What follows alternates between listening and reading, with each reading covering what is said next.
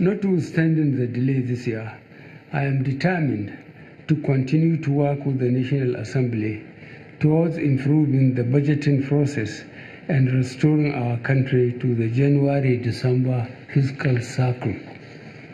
I note with pleasure that the National Assembly is working on the enactment of an organic budget law so as to improve the efficiency and the nation's budgetary process.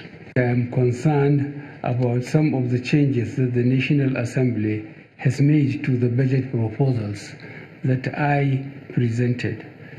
The logic behind the constitutional direction that budgets should be proposed by the executive is that it is the executive that knows and defines the policies and projects. Unfortunately, that has not been given much regard in what has been sent to me.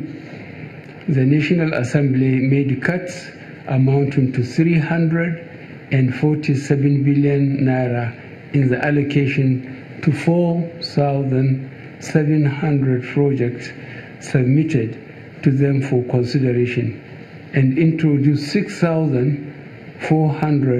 6,403 projects of their own amounting to 578 billion naira. Many of the projects cut are critical and may be difficult, if not impossible, to implement with the reduced allocation. Some of the new projects inserted by the National Assembly have not been properly conceptualized, designed, and costed, and will therefore be difficult to execute. Another area of concern is the increase by the National Assembly of the provisions for statutory transfers by an aggregate of 73.96 billion naira.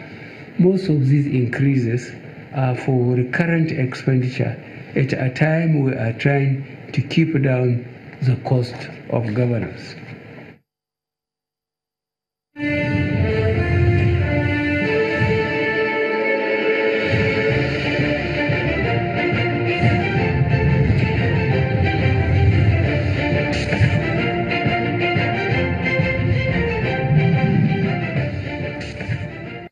Well, many thanks for staying with us. Everyone, welcome back. We've, uh, we've been talking to Senator Ita Enang, the President's Special Assistant on Legislative Matters. We're since being joined by the Deputy Chairman of the House Committee on Legislative Budget and Research, Honorable Lego Idagbo. He joins us uh, in our Abuja studio alongside with, uh, Senator Ita Enang, who's been with us on the program. Welcome, uh, Honorable. Let's begin uh, with you, Honorable. There's been these controversies and differences between the executive and the, uh, and the uh, legislature on the issues of insertions, which is generally termed as the issues of budget. Uh, I mean, a padding.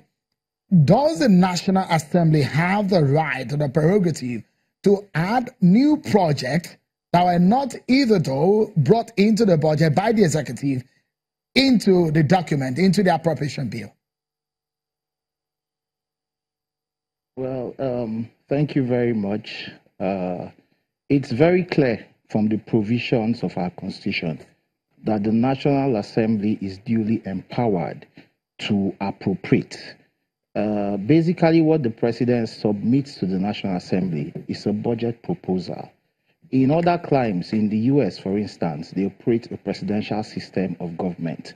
It's the same presidential system of government we operate here in Nigeria the President of the United States sends a proposal to the House. It's the House that sits down to write the proper appropriation bill based on the President's proposals. So the same thing operates here. Even though we accept the budget proposal as fully drafted from various MDAs of government in the National Assembly, but we cannot sit down and rubber stamp what the President sends to us. It's not possible we need to consider so many variables. We are representatives of our people. You know, we cannot come here to the National Assembly and just rubber stamp a budget sent to us by Mr. President. Honorable Dago, sorry if I'm aborting on what you're saying. Uh, sorry, uh, it, it's stated that most of the uh, the items and the projects that are introduced by the National Assembly are in the purview of the local government and the state. This is a federal budget. No, I beg to disagree with that. You know, uh, governance is about catering for the needs of the less privileged and the indigents in society. Mr. President cannot sit down and say that what we put in the budget can be taken care of by the local governments and the state governments. Well, recently, uh, not too long ago, when Bill Gates visited us in Nigeria, he had cause to say there was a disconnection between the federal government and the people in terms of programs and policies as reflected in the budget.